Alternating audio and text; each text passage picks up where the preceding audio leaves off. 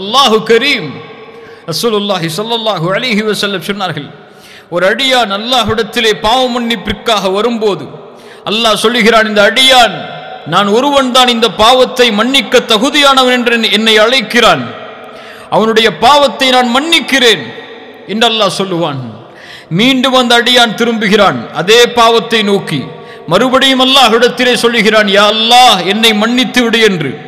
அல்லாஹ் சொல்கிறான் இந்த அடியான் பாவம் செய்து நான் ஒருவன் தான் இந்த பாவத்தை மன்னிக்க தகுதியானவன் என்று என்னை அழைக்கிறான். நான் அவனை மன்னிக்கிறேன். மீண்டும் அதே அடியான் அதே பாவத்தை தொடர்கிறான். அல்லாஹுவை அழைக்கிறான் யா அல்லாஹ் நான் பாவம் செய்து விட்டேன் மன்னித்து விடு என்று. அல்லாஹ் சொல்கிறான் இந்த அடியா நான் ஒருவன் தான் பாவங்களை மன்னிக்க தகுதியானவன் என்று என்னை அழைக்கிறான். இவனுடைய பாவத்தை நான் மன்னிக்கிறேன். அல் மாஷா அவன் எதை வேண்டுமோ செய்து கொள்ளட்டும் கது கஃபர்து. நான் அவனுடைய பாவத்தை மன்னித்து விட்டேன் என்று அல்லாஹ் சொல்லுவான். அல்லாஹு அல் கரீம். இந்த ஹதீஸை புரிந்து கொள்ளக்கூடாது. பாவங்களை தொடர்ச்சியாக செய்து அல் கரீமை அழைத்தால் அல்லாஹ் மன்னித்து கொண்டே இருப்பான் என்று. பாவ மன்னிப்புக்கு நிபந்தனை உண்டு.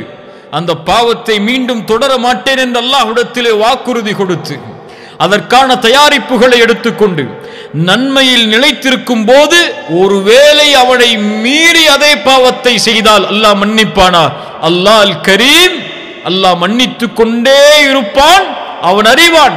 அந்த பாவத்திற்கு அவன் உறுதி கொடுக்கும் போது உண்மையான உறுதியை கொடுக்கிறானா? அல்லது உண்மைக்கு மாற்றமான உறுதியை கொடுக்கிறானா என்று? அல்லாஹு அல் கரீம். அசூலுல்லாஹி சொல்லல்லாஹு அலிஹி வசல்லம் அந்த அல் கரீம் அவன் பாவங்களை மன்னிப்பான். பாவங்களை மன்னிப்பதோடு மட்டுமல்லாமல் அந்த பாவங்களுக்கு நன்மையும் அல்லாஹ் ரப்புல் ஆலமின் வழங்குவான். அந்த பாவங்களை அல்லாஹ் மறைப்பான்.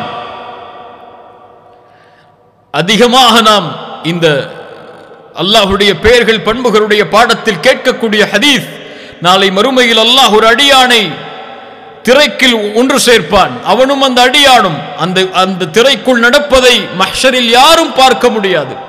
அல்லாஹ் அந்த அடியானை நெருக்கமாக்கி கேட்பான் இந்த பாவத்தை இந்த நேரத்திலே செய்தாயா? இந்த பாவத்தை இந்த நேரத்திலே செய்தாயா? என்று.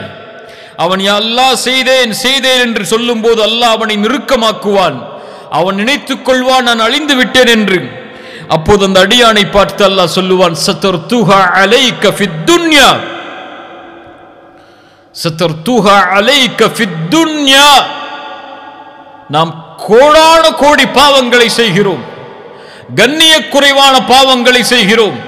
அந்த பாவங்கள் எல்லாவற்றையும் அல்லாஹ் நாம் செய்யக்கூடிய நிலையிலேயே நமக்கு வெளிப்படுத்தி விட்டால்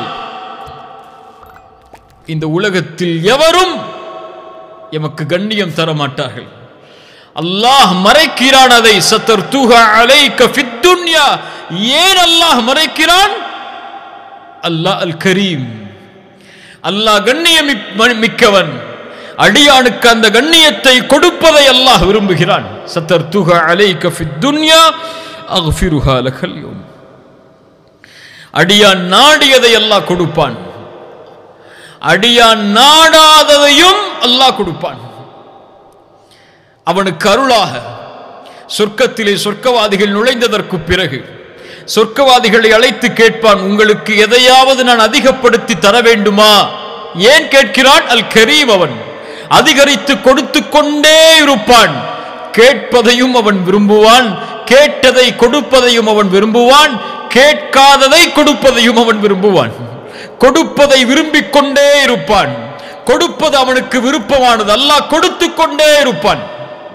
அவன் கொடுப்பதால் அவனுடைய கஜானாவில் எல்லளவும் குறையாது.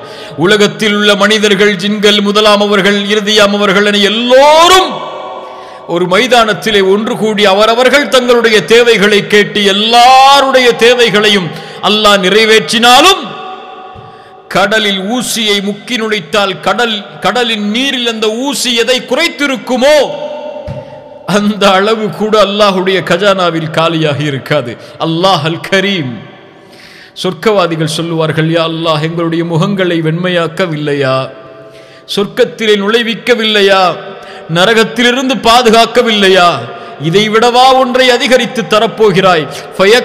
ஹிஜாப். அல்லாஹ் திரையை அகற்றுவான் அல்லாஹுவை பார்ப்பார்கள். அல்லாஹ் அதை கொடுப்பதை விரும்புகிறான். அவர்கள் கேட்கவில்லை. அல்லாஹ் அல் கரீம் அவனாக அழைத்து அவனை காண்பிப்பான். உஜூஹி உமைதின் நாதிரா إلى ربها ناظرة. سبحان الله.